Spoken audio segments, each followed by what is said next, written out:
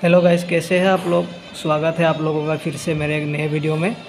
आज मैं बताने वाला हूँ, मोबीक्विक के वॉलेट पे आप लोग पैसे कैसे ऐड कर सकते हैं। तो चलिए वीडियो को स्टार्ट करते हैं।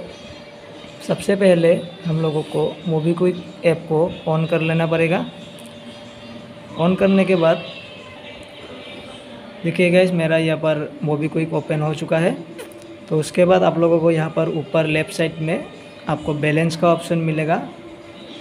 आप लोग बैलेंस के ऑप्शन पे क्लिक कर दीजिएगा।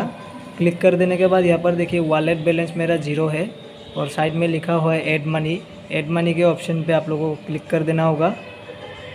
उसके बाद आप लोगों को जितना भी मनी ऐड करना है, वो आप लोगों को देना होगा। जैसे कि मैं यहाँ पर सिक्सटीन हंड्रेड ऐड करना चाहता हूँ तो मैं यहाँ पर सिक्सटीन हंड्रेड क्लिक कर देता हूँ। उसके बाद यहाँ पर आप लोगों को दिखाई दे रहा होगा एट सिक्सटीन हंड्रेड आप लोगों को यहाँ पर क्लिक कर देना है।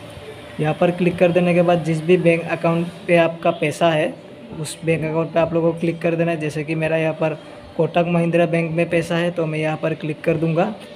यहाँ पर क्लिक कर देने के बाद आपको, आपका यूपीआई पिन देना होगा। तो देखिए, मैंने अपना पिन दे दिया है तो आप लोगों को भी ऐसा करके आप लोगों का बैंक का पिन पिन दे देना होगा।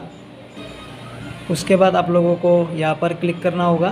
क्लिक कर देने के बाद दोस्तों, यहाँ पर थोड़ा लोडिंग होगा। लोडिंग होकर यहाँ पर आप लोगों का पैसा ऐड हो जाएगा। जैसे कि यहाँ पर देख रहा है you added sixteen hundred to your wallet new wallet balance sixteen hundred दिखा रहेगा इस देखिएगा एकदम ईजी है।